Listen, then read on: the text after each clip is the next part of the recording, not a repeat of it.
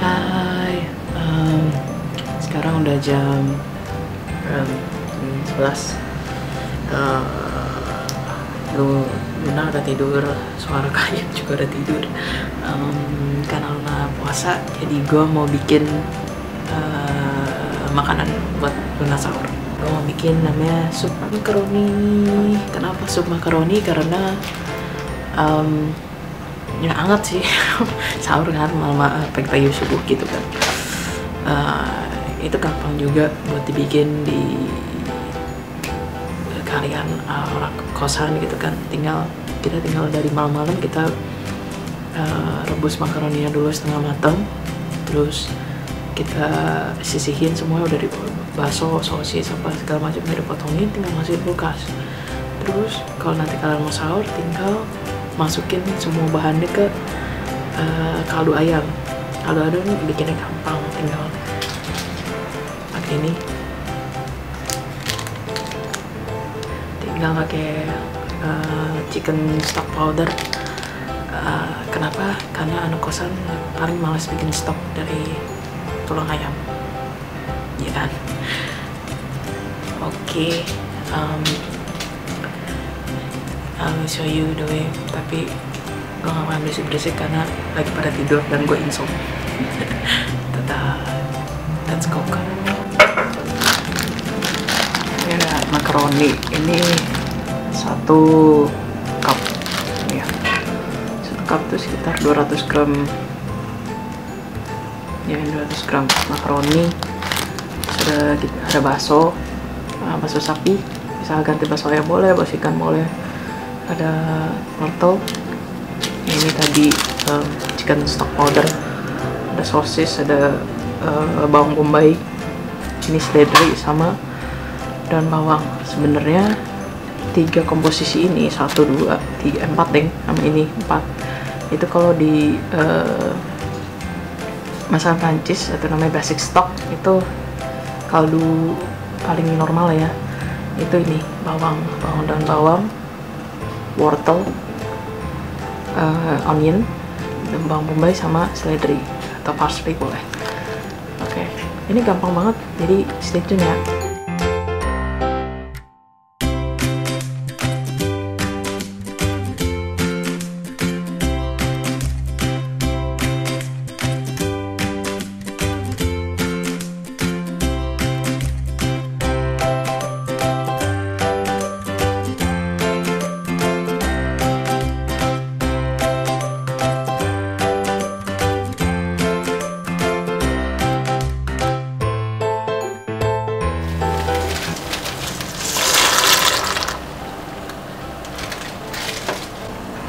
jadi kita rebusnya setengah matang aja. Soalnya nanti kita masukin sop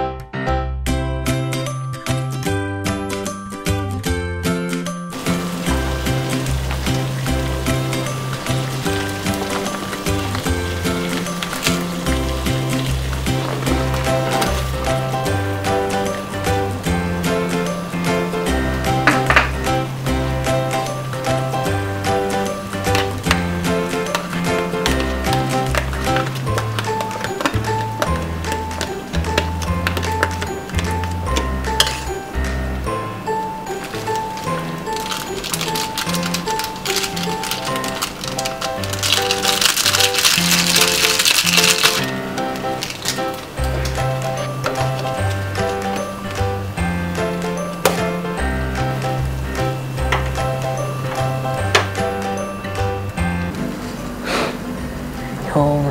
Uh, selamat pagi, udah setengah uh, setengah empat, setengah empat ya. Ya gitu deh, pokoknya udah setengah empat. Uh, mau aku mau nyediain sahur dulu buat Luna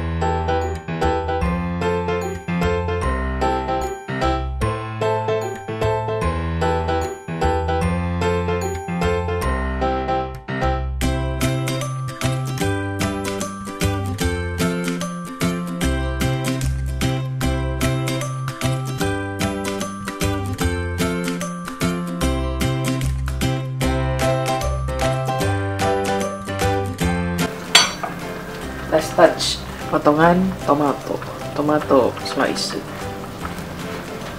biar ada agak asam-asam dikit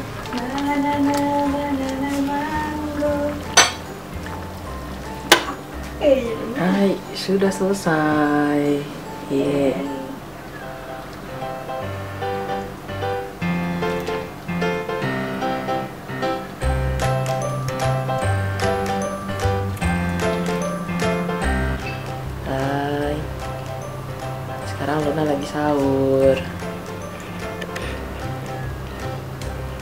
Gimana Bu?